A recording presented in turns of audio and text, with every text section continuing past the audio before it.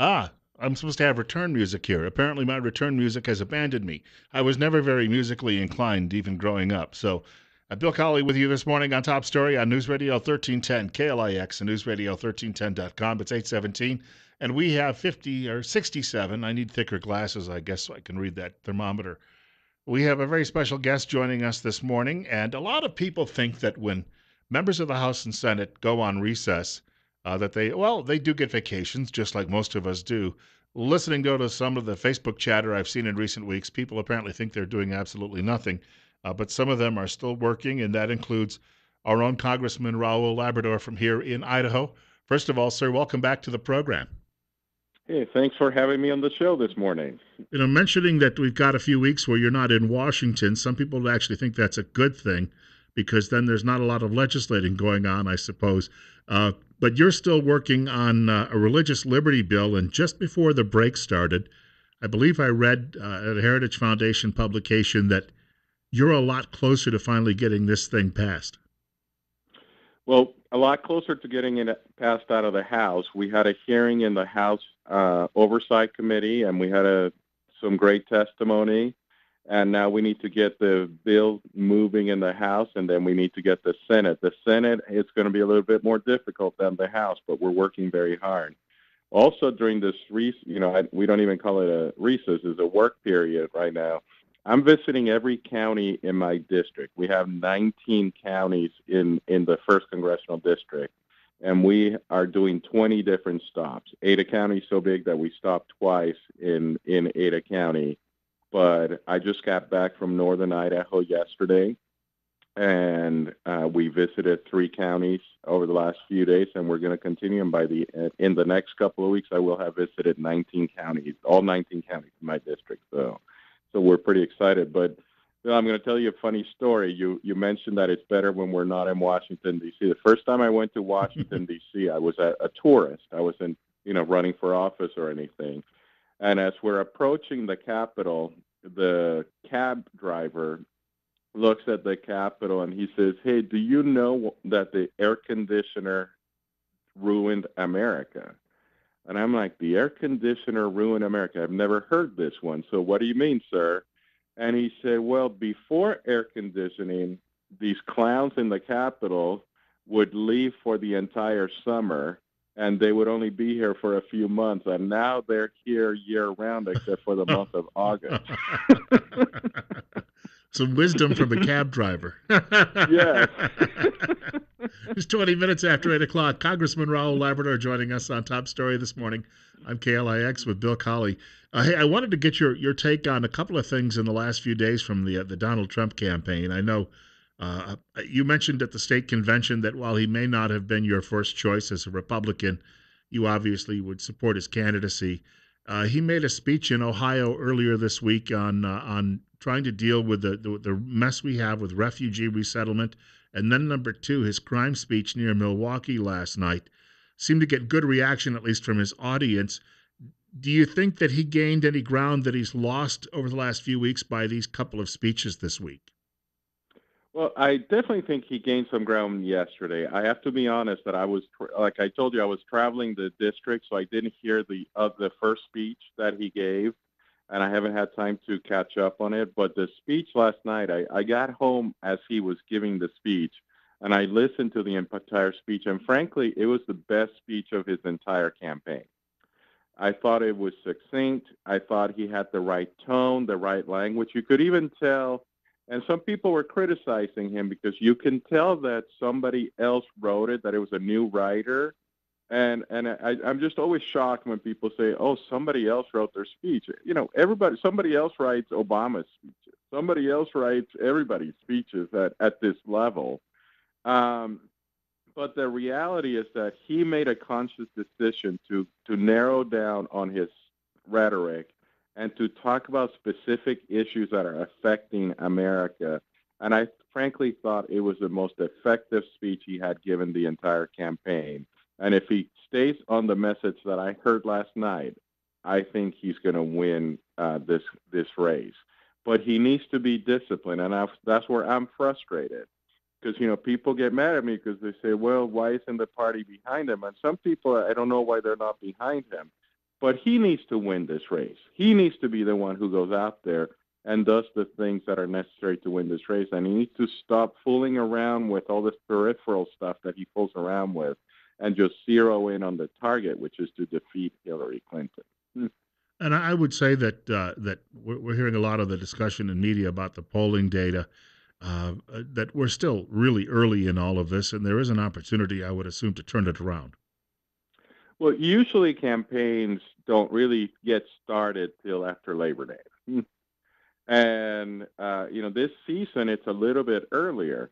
But don't get me wrong, uh, I'm, I'm not one of those who thinks, you know, I, I've seen a lot of people on Facebook posting that these polls are wrong and they're fake. No, they're not. Trump is losing right now, and if he doesn't right the ship, he's not going to win. But I think there's plenty of time to right the ship, and and and I think if if yesterday was was any indication of where he's going to go for the next few months, then that's a that's a good sign. I just hope that he can stay disciplined now, that he can just stay focus on the themes that he talked about last night. He even reached out. He did. A, I thought he did a terrific job pointing out that the African American community has been ill served by by the Democratic Party. In the last eight years, we've had an American, uh, uh, the African American president and the African American community is actually doing worse today than they were doing eight years ago. Those are things that people need to start talking about. And if you do it in a respectful way, and if you do it in a, in, in the right tone, it will turn things around because you will see more and more people starting to ask the question, why, why is this happening? And it's happening because, as you know, what he talked about last night, the city of Milwaukee has been run by Democrats for 40 years or so and things are going terribly for that community right now. So we can turn things around, and he can get, have that message. He can get that message out, but he, he just needs to be so much more disciplined than he has been over the last few months. No, of course, everybody else, when you get back to Washington, you still all have to be concerned about winning your own elections. And I know you would say you take every opponent seriously, and yet, absolutely, I, I would say that obviously in Idaho, we might be a little safer than some people who might suffer from a Trump effect that they're worried about. But when you get back, will most of the focus be on campaigning, or will there be an opportunity to still get some legislation worked?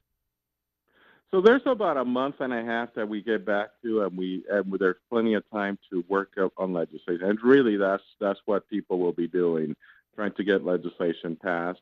It's very difficult in an election year. That's a bad thing about having elections every two years. Uh, you know, for the most part, I think it's a good thing that every two years the House can be cleaned out if necessary.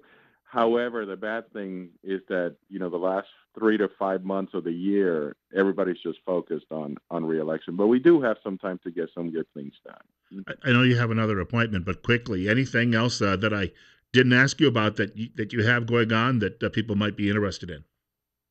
No, it's been pretty exciting to talk to the people in the district. I, I think you know my district's very similar to your district, to the second congressional district, where people are frustrated with the federal government.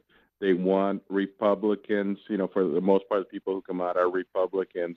They want Republicans to get a message, to work together, um, and and I think there's some good things that that can be done. And and I I guess after last night's speech, I was a lot more optimistic about what we can do in the next few months. Mm-hmm. Well, Congressman Raul Labrador, we thank you again for your time and look forward to chatting with you again next uh, next month. Thank you very much.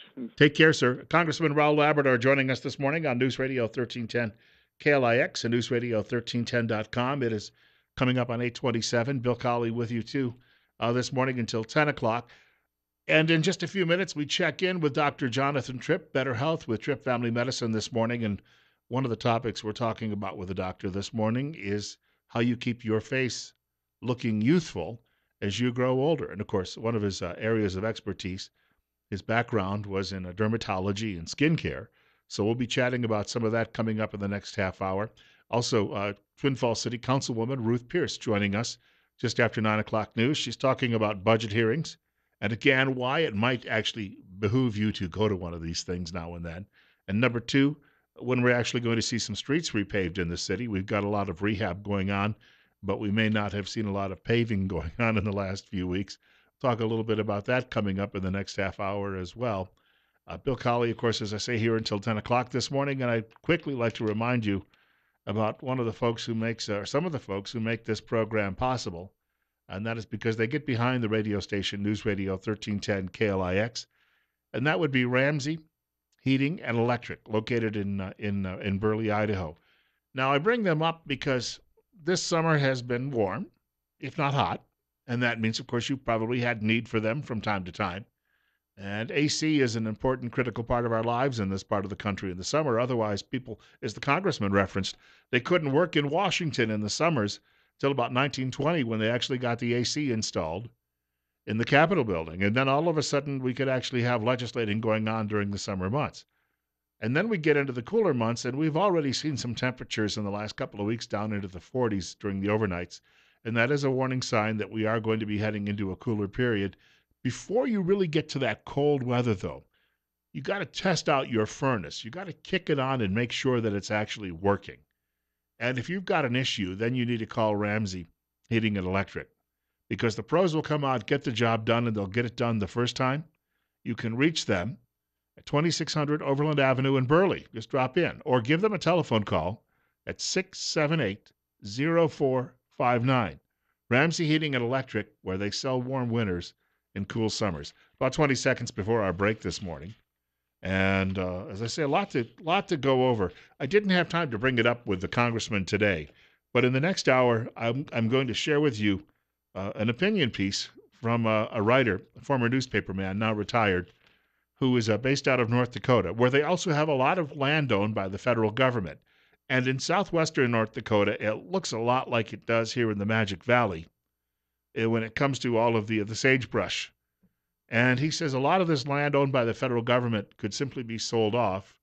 And he has a novel idea of what the federal government could then do when it actually unloaded that land. Details coming up on that in the next hour. Bill Colley with you on Top Story on News Radio 1310 KLIX and NewsRadio1310.com.